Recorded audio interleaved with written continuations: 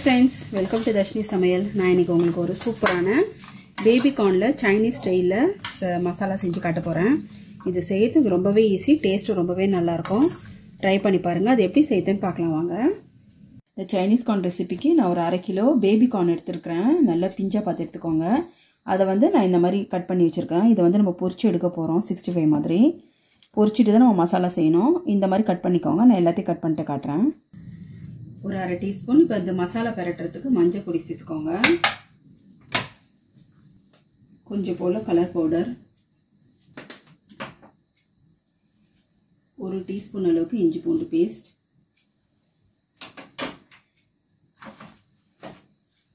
ரெண்டு table spoon அளவுக்கு bread crumbs சேர்த்துக்கோங்க. கிறிஸ்பியாக இருக்கிறதுக்காக. ரெண்டு டேபிள் ஸ்பூன் கடலை மாவு.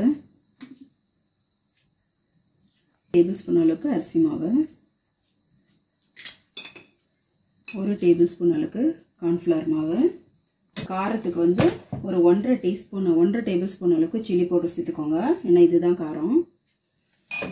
ஒரு அரை டீஸ்பூன் அளவுக்கு சிக்கன் பவுடர் சேர்த்துக்கோங்க வாசனைக்கு. இதுக்கு தேவையான உப்பு. இது எல்லாத்தையும் நல்லா கலந்துட்டு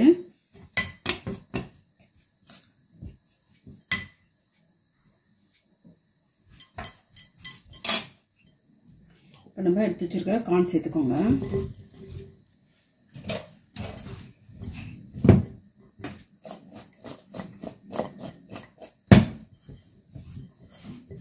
இது லைட்டாக தண்ணி ஊற்றி பிசைஞ்சுக்கோங்க. பொறிச்சு எடுக்கிற அளவுக்கு.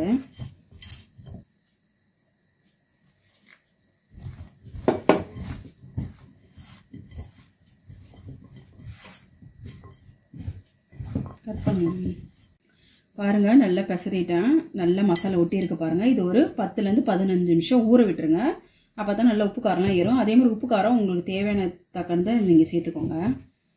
இதுக்கு எண்ணெய் காய வச்சுருக்கேன். இப்போ வந்து சிக்ஸ்டி ஃபைவ் மாதிரி பொரிச்சு எடுத்துக்கோங்க.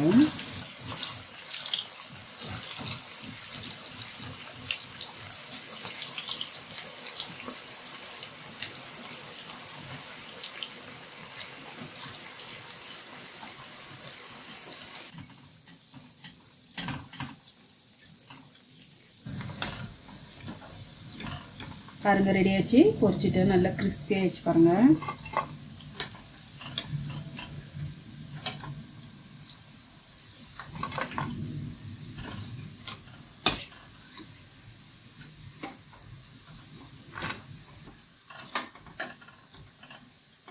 இப்போ அதுக்கு வந்து ஒரு டேபிள் ஸ்பூன் அளவுக்கு எண்ணெய் சேர்த்துக்கோங்க. எண்ணெய் சூடானதை ஒரு அஞ்சு பல் பூண்டை பொடியாக கட் பண்ணி வச்சுருக்கிறேன். அதை சேர்த்துக்கிறேன்.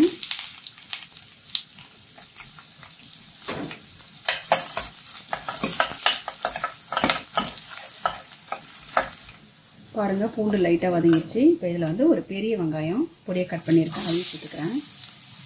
இது சாப்பிட்றதுக்கு ரொம்பவே நல்லாயிருக்கும் பாருங்கள் வெங்காயம் லைட்டாக வதங்கிடுச்சு இப்போ கொஞ்சம் ஸ்ப்ரிங் ஆனியன் சேர்த்துக்கோங்க. இதில் ஒரு அரை டீஸ்பூன் அளவுக்கு பெப்பர் பவுடர் ஒரு டீஸ்பூன் அளவுக்கு சில்லி ஃப்ளேக்ஸ் சேர்த்துக்கோங்க.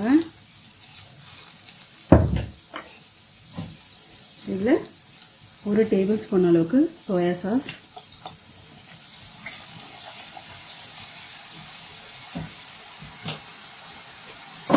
ஒரு கால் டீஸ்பூன் அளவுக்கு சர்க்கரை.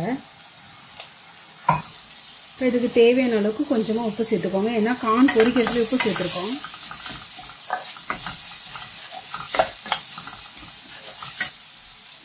இப்போ இதில் திக்னஸ்க்கு ஒரு டேபிள் ஸ்பூன் அளவுக்கு மைதா மாவை நல்லா தண்ணியில் கரைச்சி வச்சுருக்கேன்.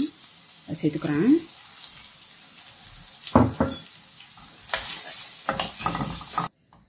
பாருங்கள் ரெடி ஆயிடுச்சு. இப்போ நம்ம பொரிச்சு வச்சுருக்கிற பேபி கார்ன் சேர்த்துக்கோங்க.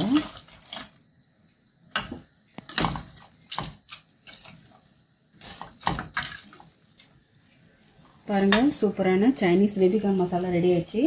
இப்போ லாஸ்ட்டில் இன்னும் கொஞ்சம் போல் வெங்காயத்தால் சேர்த்துக்கோங்க.